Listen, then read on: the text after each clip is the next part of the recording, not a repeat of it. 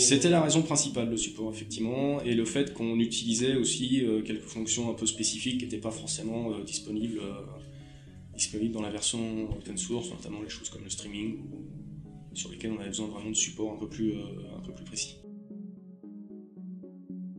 On a euh, des clients euh, divers et variés, on n'a pas vraiment de statistiques sur le avant-après. Euh, ce qu'on peut dire, c'est qu'aujourd'hui, on est benchmarké par exemple par des gens comme Celexis, qui aiguillent en fonction des performances, des performances des CDN. Et aujourd'hui, dans les benches Celexis, le CDN de SFR arrive premier en, France devant tous les autres. Je pense qu'à nous, ça nous a pas fait faire vraiment d'économie. Par contre, à nos clients, sûrement.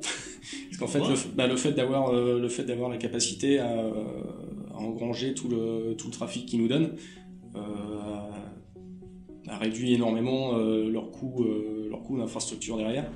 Pour, enfin tout le trafic qu'ils ont pas, enfin tout le trafic qu'on gère nous, ils l'ont pas eux à gérer. Et, et pour certains, ça représente ça représente pas mal de volume. Oui, très intelligent. Alors déjà parce que effectivement, j'en côtoie plusieurs euh, sur IRC ou ce genre de choses où effectivement on échange, on échange énormément entre entre développeurs.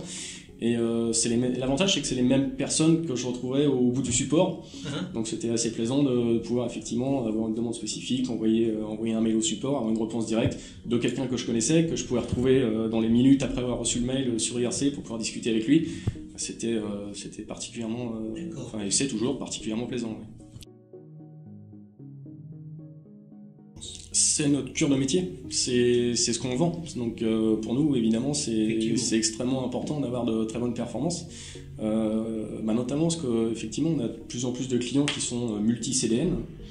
Euh, L'aiguillage se fait sur les performances. Plus on est performant, plus on reçoit de trafic.